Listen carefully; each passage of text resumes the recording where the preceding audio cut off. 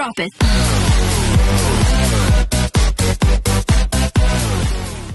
Xin chào các bác nha. Hôm nay thì em chuẩn bị đi ra chỗ cây thụy ở Hoài Xuân Hoài Nhơn, Bình Định. Cây thụy đấy là các cụ ngày xưa nói là cây thụy đấy là rất thiêng. Thì là cây thụy đấy nó một cây một thân Nhưng mà nó ra hai nhánh. Cây thụy nếp một bên là nếp và một bên là tẻ. Thì bây giờ các bác theo em hành trình đi ra cây thị đấy, em sẽ quay cho các bác và review cho các bác xem cây thị ở đấy nó thiêng liêng như thế nào nhé.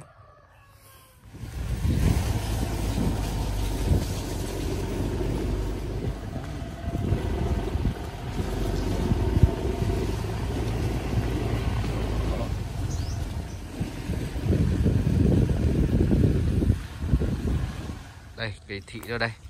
Nó nằm ở khu văn hóa thôn, này đây là nhà văn hóa khu thể thao, khu văn hóa Hòa Trung 1 Hoàng Xuân, đây. Cây thị rất thiêng, một thân nó chia làm hai nhánh. Chia vào một bên là nếp, một bên là tẻ. Cây này là ngày xưa là có một bác ờ, chính quyền đã kêu là chặt chặt đâu, tao chịu là về đã bị bệnh. Này mọi người đến thắp hương này. Cây này là được uh, mọi người đưa lên uh, trên uh, Facebook và đến cộng đồng người Việt Nam ở Mỹ. Rất thiêng nhé.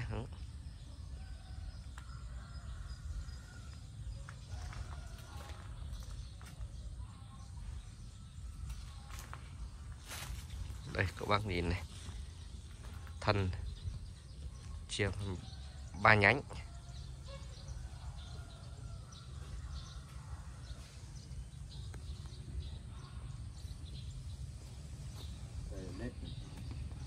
Bên này là bên lếp bên này là bên tẻ đây. Hùm hùm, chín hùm hùm đã ăn được rồi. Còn bên đây là phải chín cho nó tập, coi coi vàng với anh khu này người ta còn gọi là xóm cây thị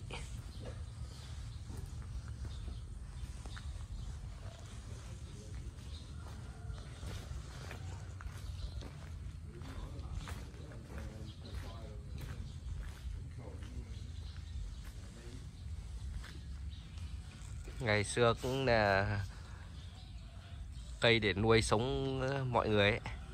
lúc đấy các bác à, đói các bác à, 80 90 kể lại là ngày xưa là phải trèo sáng sớm là phải đi trèo để ăn quả.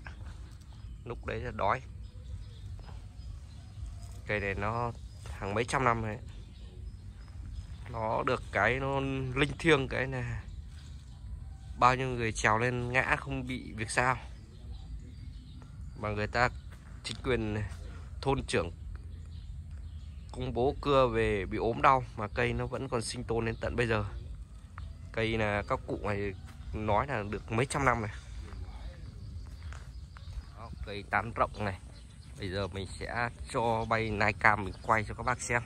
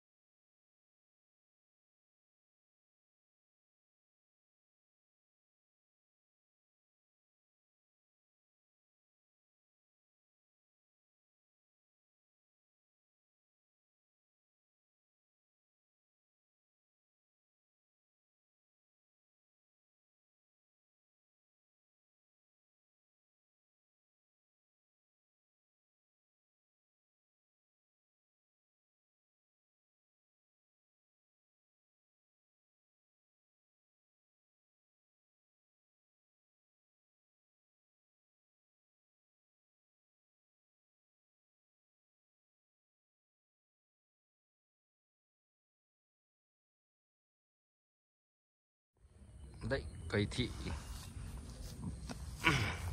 Là một cây đất linh thiêng. Nó nằm ở Hoài Xuân, Hoài Nhơn, Bình Định. Đó. Quang cảnh thì mình đã quay cho các bạn xem rồi.